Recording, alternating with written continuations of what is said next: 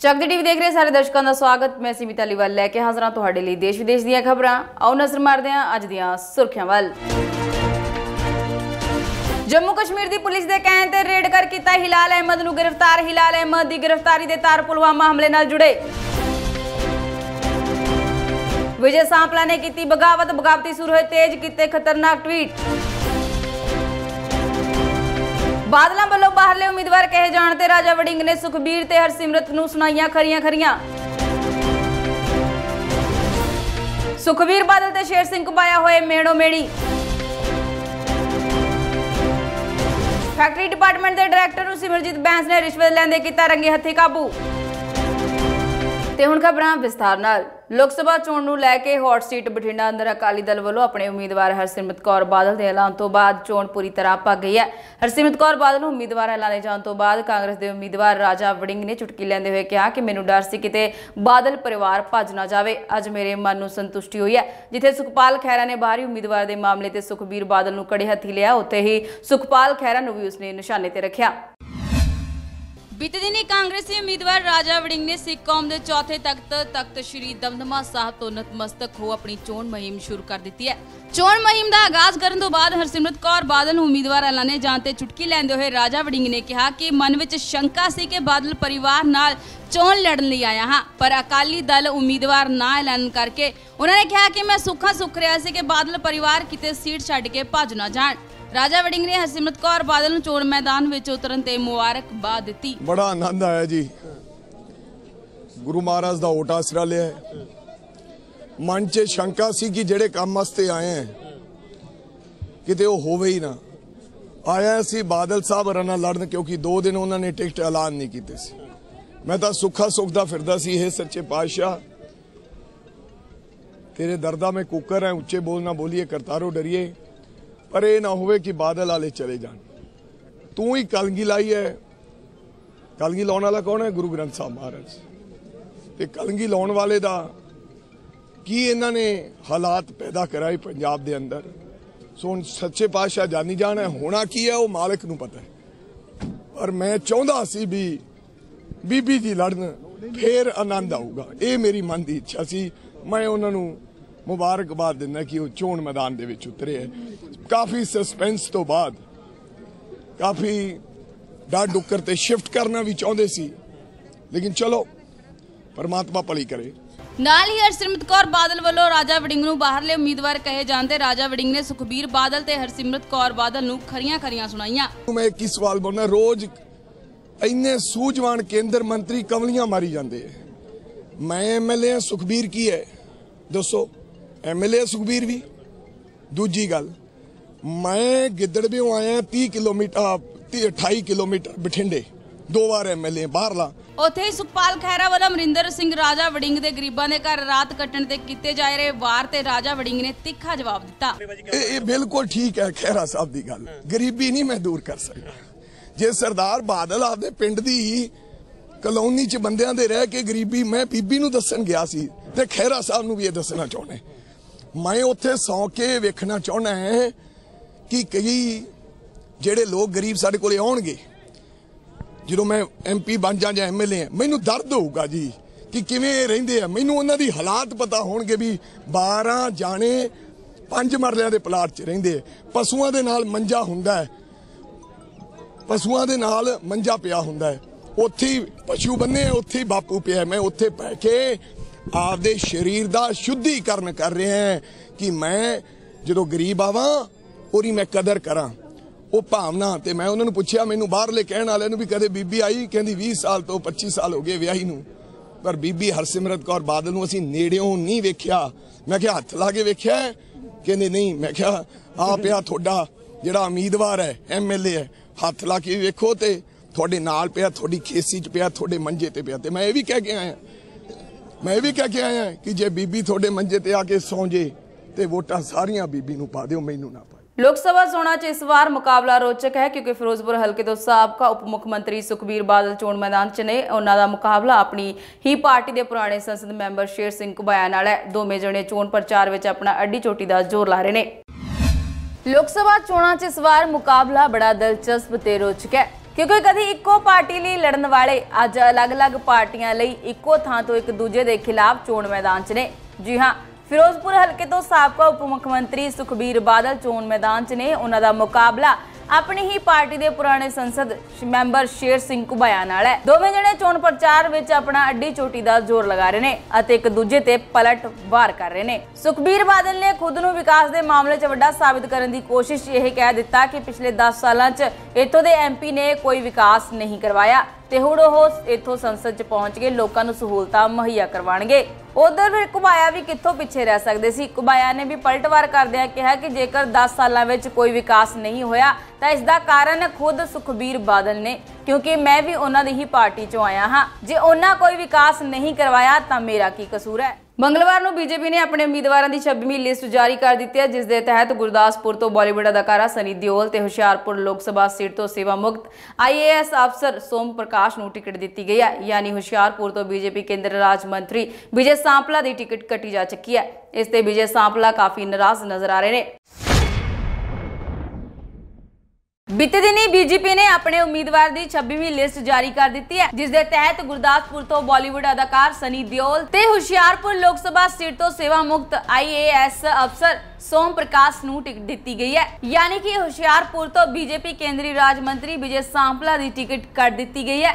ਜਿਸ ਤੋਂ ਬਾਅਦ ਹਮੇਸ਼ਾ ਮੋਦੀ ਮੋਦੀ ਦਾ ਰਾਗ ਹਲਾਪਣ ਵਾਲੇ ਵਿਜੇ ਸਾਂਪਲਾ ਕਾਫੀ ਨਾਰਾਜ਼ ਨਜ਼ਰ ਆ ਰਹੇ ਨੇ। ਤੇ ਉਹਨਾਂ ਦੀ ਨਾਰਾਜ਼ਗੀ ਉਹਨਾਂ ਵੱਲੋਂ ਕੀਤੇ ਟਵੀਟਸ ਤੋਂ ਸਾਫ਼ ਨਜ਼ਰ ਆ ਰਹੀ ਹੈ। ਜੀ ਹਾਂ, ਉਹਨਾਂ ਇੱਕ ਤੋਂ ਬਾਅਦ ਇੱਕ ਟਵੀਟ ਕਰਕੇ ਪਾਰਟੀ ਨੂੰ ਸਵਾਲੀਆ ਟਵੀਟ ਕੀਤੇ ਨੇ। ਇਥੋਂ ਤੱਕ ਕਿ ਟਵੀਟ ਖਾਤੇ ਦੇ ਸਾਂਪਲਾ ਸਾਹਿਬ ਨੇ ਆਪਣੇ ਨਾਂ ਅੱਗੇ ਚੌਕੀਦਾਰ ਵੀ ਹਟਾ ਲਿਆ ਹੈ। ਦਿਲਚਸਪ ਗੱਲ ਇਹ ਰਹੀ ਕਿ ਪਹਿਲੇ ਟਵੀਟ 'ਚ ਸਾਂਪਲਾ ਨੇ ਲਿਖਿਆ ਕਿ ਬਹੁਤ ਦੁੱਖ ਹੋਇਆ, ਭਾਜਪਾ ਨੇ ਗਊ ਹੱਤਿਆ ਕਰ ਦਿੱਤੀ। ਪਹਿਲਾਂ ਦੇਖੋ ਇਹ ਟਵੀਟ। ਇਸ ਤੋਂ ਬਾਅਦ ਉਹਨਾਂ ਨੇ ਟਵੀਟ ਕਰਕੇ ਪਾਰਟੀ ਨੂੰ ਪੁੱਛਿਆ ਕਿ ਉਹਨਾਂ ਦਾ ਕਸੂਰ ਕੀ ਹੈ। ਉਹਨਾਂ ਦੀ ਟਿਕਟ ਕੱਟਣ ਤੋਂ ਪਹਿਲਾਂ ਉਹਨਾਂ ਦਾ ਦੋਸ਼ ਤਾਂ ਦੱਸ ਦਿੰਦੇ। ਉਹਨਾਂ ਆਪਣੇ ਕੰਮ ਵੀ ਗਣਵਾ ਛੱਡੇ। ਵੇਖੋ ਸਾਂਪਲਾ ਸਾਹਿਬ ਦੇ ਕੀਤੇ ਅਗਲੇ ਟਵੀਟ। ਇੱਥੇ ਇੱਕ ਗੱਲ ਤਾਂ ਸਾਫ਼ ਹੋ ਜਾਂਦੀ ਹੈ ਕਿ ਪਾਰਟੀ ਲੀਡਰਾਂ ਵੱਲੋਂ ਜਰਾ ਕੋ ਧਿਆਨ ਕੀ ਹਟਾ ਦੇਵੇ, ਲੀਡਰ ਬਗਾਵਤ ਤੇ ਉਤਰ ਜਾਂਦੇ ਨੇ ਤੇ ਬਗਾਵਤੀ ਸੁਰ ਤੇਜ਼ ਕਰ ਦਿੰਦੇ ਨੇ। ਕਰਨ ਵੀ ਕਿਉਂ ਨਾ ਇਹ ਸਿਆਸਤ ਹੁੰਦੀ ਹੀ ਕੁਝ ਇਸ ਤਰ੍ਹਾਂ ਦੀ ਹੈ।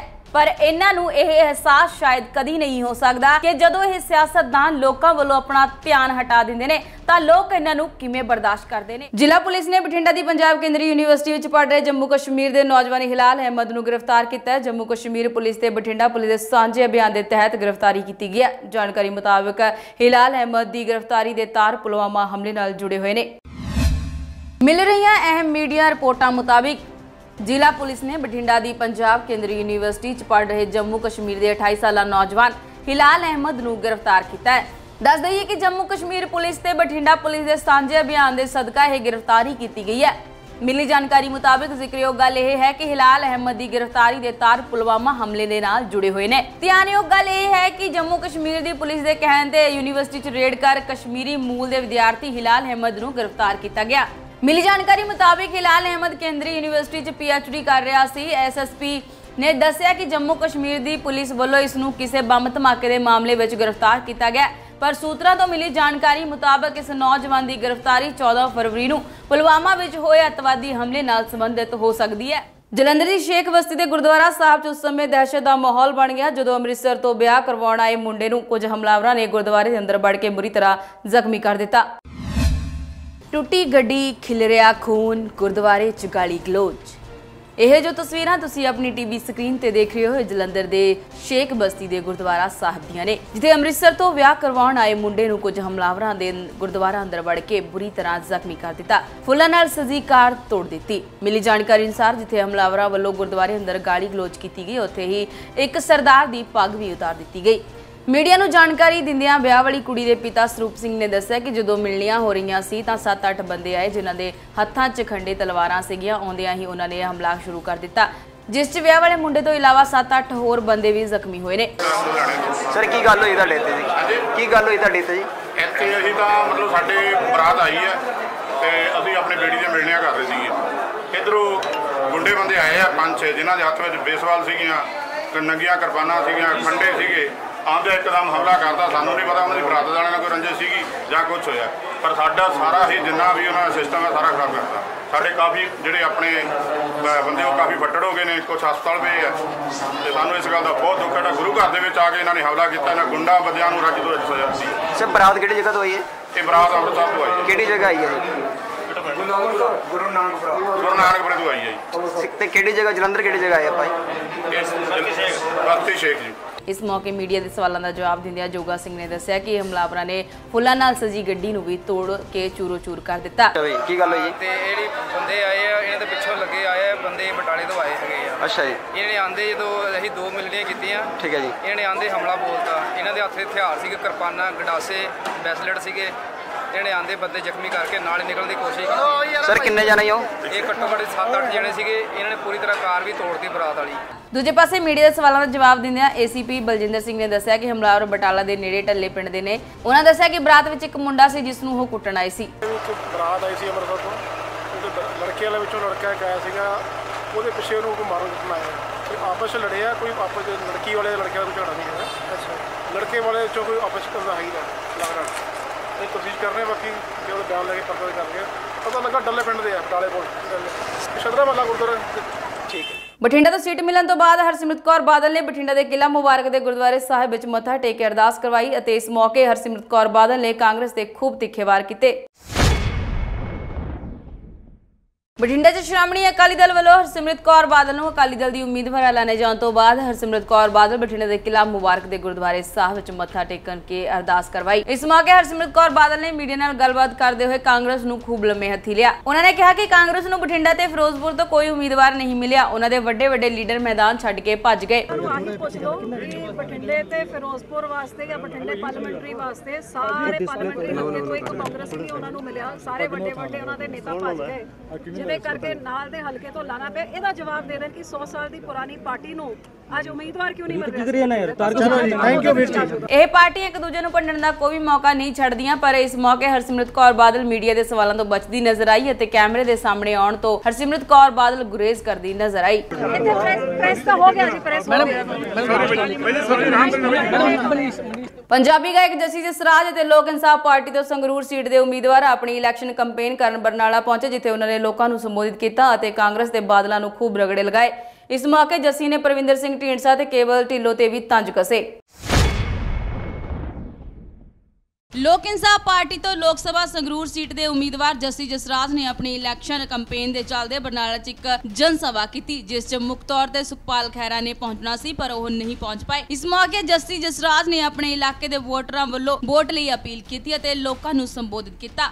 ਦੇਖੋ, ਸਾਡੇ ਜਿਹੜੇ ਅਹੁਦੇਦਾਰ ਨੇ ਇੱਥੇ, ਸਾਡੇ ਡੈਡੀਕੇਟਿਡ ਵਲੰਟੀਅਰਸ ਨੇ, ਜਿਹੜੇ ਕੰਮ ਕਰ ਰਹੇ ਸੀ, ਜਿਨ੍ਹਾਂ ਨੂੰ ਇਲਾਕੇ ਦੀ ਪੂਰੀ ਸਮਝ ਹੈ, ਜਿਹੜੇ ਮੈਕਸਿਮਮ ਬਰਨਾਲਾ ਦੇ ਵਿੱਚ ਤਿੰਨ ਜਿਹੜੀਆਂ ਵਿਧਾਨ ਸਭਾ ਨੇ ਉਹਨਾਂ ਦੇ ਕੋਨੇ-ਕੋਨੇ ਤੇ ਬੰਦਿਆਂ ਨਾਲ ਵਾਕਿਫ ਨੇ ਉਹਨਾਂ ਨੂੰ ਜ਼ਿੰਮੇਵਾਰੀਆਂ ਦਿੱਤੀਆਂ ਗਈਆਂ ਨੇ। ਨਾਲ ਹੀ ਕਾਲਾ ਢਿੱਲੋਂ ਵੱਲੋਂ ਪਾਰਟੀ ਛੱਡਣ ਤੇ ਜੱਸੀ ਜਸਰਾਜ ਨੇ ਕਿਹਾ ਕਿ ਅਸੀਂ ਬੈਸਟ ਵਿਸ਼ੇਸ ਦਿੰਨੇ ਆ ਕਾਲਾ ਢਿੱਲੋਂ ਨੂੰ ਬੰਦਾ ਮਾੜਾ ਨਹੀਂ ਸੀ ਪਰ ਪਤਾ ਨਹੀਂ ਕੀ ਮਜਬੂਰੀ ਸੀ। ਨਾਲ ਹੀ ਉਹਨਾਂ ਨੇ ਕਿਹਾ ਕਿ ਜ਼ਿੰਦਗੀ 'ਚ ਬਹੁਤ ਲੋਕ ਆਉਂਦੇ ਨੇ ਬਹੁਤ ਜਾਂਦੇ ਨੇ ਜ਼ਿੰਦਗੀ ਰੁਕਦੀ ਨਹੀਂ। ਦੇਖੋ ਅਸੀਂ ਬੈਸਟ ਵਿਸ਼ੇਸ ਦਿੰਦੇ ਆ ਕਾਲਾ ਢਿੱਲੋਂ ਨੂੰ। ਬੰਦਾ ਮਾੜਾ ਨਹੀਂ ਸੀ ਪਤਾ ਨਹੀਂ ਕੀ ਮਜਬੂਰੀ ਹੈ। ਫਿਰ ਵੀ ਦੇਖੋ ਆਪਣੀ ਜ਼ਿੰਦਗੀ 'ਚ ਕਈ ਬੰਦੇ ਆਉਂਦੇ ਕਈ ਜਾਂਦੇ ਆ ਕਈ ਦੁਨੀਆ ਤੋਂ ਹੀ ਚਲ ਜਾਂਦੇ ਆ। ਕਾਫਲਾ ਚੱਲਦਾ ਰਹਿੰਦਾ ਜ਼ਿੰਦਗੀ ਰੁਕਦੀ ਨਹੀਂ। ਇਸ ਮੌਕੇ ਢੀਂਡਸਾ ਤੇ ਕੇਵਲ ਢਿੱਲੋਂ ਤੇ ਤੰਜ ਕੱਸਦੇ ਹੋਏ ਜੱਸੀ ਜਸਰਾਜ ਨੇ ਕਿਹਾ ਕਿ ਮੇਰੇ ਪਿਤਾ ਜੀ ਕਹਿੰਦੇ ਸੀ ਕਿ ਰਿਸ਼ਤੇ ਬਰਾਬਰੀ ਵਾਲਿਆਂ ਨਾਲ ਜੱਚਦੇ ਨੇ। ਢੀਂਡਸਾ ਪਰਿਵਾਰ ਤੇ ਕੇਵਲ ਢਿੱਲੋਂ ਪਰਿਵਾਰ ਅਰਬਾਂਪਤੀ ਪਾਰਟੀ ਹੈ। ਇਹਨਾਂ ਨਾਲ ਗਰੀਬਾਂ ਦਾ ਰਿਸ਼ਤਾ ਕਿੱਥੇ ਨਿਭਜੂ? ਜੇ ਨਿਭਣਾ ਹੁੰਦਾ ਤਾਂ ਕੈਪਟਨ ਤੇ ਬਾਦਲਾਂ ਨਾਲ ਨਾਲ ਨਿਭ ਜਾਂਦਾ। ਉਹ ਲੁੱਟ ਕੇ ਖਾ ਗਏ। ਗਰੀਬਾਂ ਦੀਆਂ ਲਾਸ਼ਾਂ ਤੇ ਰੋਟੀਆਂ ਸੇਕਣ ਵਾਲੇ ਹੁਣ ਇਹ ਲੋਕ ਗਰੀਬਾਂ ਦੇ ਭਲੇ ਲਈ ਕੀ ਕਰਨਗੇ? ਪਹਿਲਾਂ ਨਹੀਂ ਹੋਇਆ ਤਾਂ ਹੁਣ ਕਿਵੇਂ ਹੋ ਜਾਣਾ? ਦੇਖੋ ਜਿੱਥੋਂ ਤੱਕ ਢੀਂਡਸਾ ਤੇ ਕੇਵਲ ਢਿੱਲੋਂ ਦਾ ਸਵਾਲ ਹੈ ਸਾਡੇ ਮੇਰੇ ਫਾਦਰ ਸਾਹਿਬ ਕਹਿੰਦੇ ਹੁੰਦੇ ਸੀ, ਰਿਸ਼ਤੇ ਬਰਾਬਰੀ ਵਾਲਿਆਂ ਨਾਲ ਹੀ ਜੱਚਦੇ ਆ। ਜਦ ਜਦੋਂ ਮੁੰਡੇ ਕੁੜੀ ਦਾ ਰਿਸ਼ਤਾ ਕਰਦੇ ਆ ਨਾ, ਜੇ ਬਾਲੇ ਉੱਚੇ ਘਰ ਕਰ ਲੋ ਰਿਸ਼ਤਾ, ਤਾਂ ਕੁੜੀ ਆ ਕੇ ਹੀ ਕਹੀ ਜਾਂਦੀ ਹੈ ਮੈਨੂੰ ਤਾਂ ਮੇਰੇ ਤਾਂ ਨੌਕਰ ਸਵੇਰੇ ਚਾਹ ਪੁੱਛਦੇ ਸੀ, ਮੈਂ ਤਾਂ ਗੱਡੀ 'ਚ, ਗੱਡੀ ਤੋਂ ਥੱਲੇ ਪੈਰ ਨਹੀਂ ਸੀ ਰੱਖਦੀ, ਤੁਹਾਡੇ ਦਾ ਤੱਪੜ ਰੋਲੇ ਫਿਰਦੇ ਆ। ਉਹ ਰਿਸ਼ਤਾ ਬਰਾਬਰੀ ਦਾ ਨਹੀਂ ਹੁੰਦਾ। ਕੇਵਲ ਢਿੱਲੋਂ ਅਰਬਾਂਪਤੀ ਪਾਰਟੀ ਹੈ। ਢੀਂਡਸੇ ਹੋਰੀ ਅਰਬਾਂਪਤੀ ਪਾਰਟੀ ਨੇ। ਇਹਨਾਂ ਨਾਲ ਗਰੀਬਾਂ ਦਾ ਰਿਸ਼ਤਾ ਕਿੱਥੇ ਨਿਭਜੂ ਜੇ ਨਿਭ ਸਕਦਾ ਹੁੰਦਾ ਤਾਂ ਕੈਪਟਨ ਅਮਰਿੰਦਰ ਸਿੰਘ ਨਾਲ ਨਾ ਨਿਭ ਜਾਂਦਾ। ਜੇ ਨਿਭ ਸਕਦਾ ਹੁੰਦਾ, ਬਾਦਲਾਂ ਨਾਲ ਨਾ ਨਿਭ ਜਾਂਦਾ। ਉਹ ਲੁੱਟ ਕੇ ਖਾ ਗਏ ਯਾਰ। ਗਰੀਬਾਂ ਦੀਆਂ ਲਾਸ਼ਾਂ ਤੇ ਰੋਟੀਆਂ ਸੇਕਣ ਵਾਲੇ ਲੋਕ ਹੁਣ ਇਹ ਗਰੀਬਾਂ ਦਾ ਭਲਾ ਕਰਨਗੇ। ਪਹਿਲਾਂ ਨਹੀਂ ਹੋਇਆ 70 71 ਸਾਲ ਚ ਅੱਗੇ ਕਿਤੇ ਹੋਣਾ ਵੀ ਨਹੀਂ। ਲੋਕਾਂ ਨੂੰ ਇਹ ਗੱਲ ਸਮਝ ਆ ਚੁੱਕੀ ਹੈ। ਉੱਥੇ ਹੀ ਕਾਂਗਰਸ ਵੱਲੋਂ ਬਠਿੰਡਾ ਤੋਂ ਰਾਜਾ ਵੜਿੰਗ ਨੂੰ ਉਮੀਦਵਾਰ ਐਲਾਨ ਤੇ ਜੱਸੀ ਨੇ ਕਿਹਾ ਕਿ ਇਹ ਕਾਂਗਰਸ ਦੀ ਚਾਲ ਹੈ ਕਿਉਂਕਿ ਉਹ ਚਾਹੁੰਦੀ ਹੈ ਕਿ ਹਰਸਿਮਰਤ ਕੌਰ ਬਾਦਲ ਬਠਿੰਡਾ ਤੋਂ ਜਿੱਤ ਜਾਵੇ। ਰਾਜਾ ਵੜਿੰਗ ਉਹਨਾਂ ਨੂੰ ਪਤਾ ਕਾਂਗਰਸ ਨੂੰ। ਉਹਨਾਂ ਤਿੰਨਾਂ ਚ ਨਾ 13 ਚ ਨਾ ਪਲੇਅਰਾਂ ਚ ਤੇ ਨਾ ਸਪੇਅਰਾਂ ਚ। ਉਹ ਜਾਣ ਕੇ ਉੱਥੇ ਉਹਨੂੰ ਉਤਾਰਿਆ ਗਿਆ ਤਾਂ ਕਿ ਹਰਸਿਮਰਤ ਦੀ ਜਿੱਤ ਪੱਕੀ ਹੋ ਜੇ। ਇਹਦਾ ਪਹਿਲਾ ਐਗਜ਼ਾਮਪਲ ਜਦੋਂ ਕੈਪਟਨ ਅਮਰਿੰਦਰ ਸਿੰਘ ਪਟਿਆਲੇ ਤੋਂ ਉੱਡ ਕੇ ਲੰਬੀ ਗਿਆ ਸੀ ਬਾਦਲ ਨੂੰ ਜਿਤਾਉਣ ਰਵਨੀਤ ਬਿੱਟੂ ਜਲਾਲਾਬਾਦ ਗਿਆ ਸੀ ਇਹਨੂੰ ਸੁਖਬੀਰ ਨੂੰ ਜਿਤਾਉਣ ਅੱਜ ਇਹਨਾਂ ਨੇ ਕਿਹਾ ਵੀ ਇਹਨੂੰ ਭੇਜ ਦਿਓ ਨਾਲੇ ਇਹਦਾ ਪੁੱਸ ਪੂਰਾ ਹੋ ਜੂ ਰਾਜਾ ਵੜਿੰਗ ਦਾ। ਨਾਲ ਹੀ ਜੱਸੀ ਨੇ ਜਸਵਿੰਦਰ ਧਿਵਾਨ ਨੂੰ ਅਪੀਲ ਕੀਤੀ ਕਿ ਉਹ ਸੰਗਰੂਰ ਆ ਕੇ ਉਹਨਾਂ ਦਾ ਸਾਥ ਦੇਣ। ਦੇਖੋ ਜੀ ਜਿਵੇਂ ਜਸਵਿੰਦਰ ਧਮਾਨ ਜੀ ਕਹਿ ਰਹੇ ਹੈ ਕਿ OBC ਨੂੰ ਕੋਈ ਦਰਜਾ ਨਹੀਂ ਦਿੱਤਾ ਜਾ ਰਿਹਾ OBC ਦੀ ਕੋਈ ਸੁਣਵਾਈ ਨਹੀਂ ਹੋ ਰਹੀ ਕਾਂਗਰਸ ਉਹਨਾਂ ਨੂੰ ਪੁੱਛ ਨਹੀਂ ਰਹੀ ਉਹ ਕਹਿੰਦੇ ਮੇਰੀ ਥਾਂ ਤੇ ਕਿਸੇ ਵੀ OBC ਦੇ ਪ੍ਰਤੀਨਿਧੀ ਨੂੰ ਪ੍ਰਤੀਨਿਧਤਾ ਦਿੱਤੀ ਜਾਵੇ।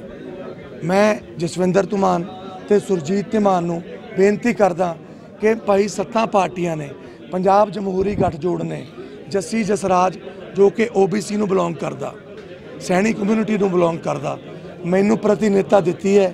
ਮੈਂ ਆਪਣੇ ਵੀਰ ਨੂੰ ਬੇਨਤੀ ਕਰਦਾ, ਪੰਜਾਬ ਲਈ ਹੀ ਕੰਮ ਕਰਨਾ, ਸੰਗਰੂਰ ਲਈ ਕੰਮ ਕਰਨਾ।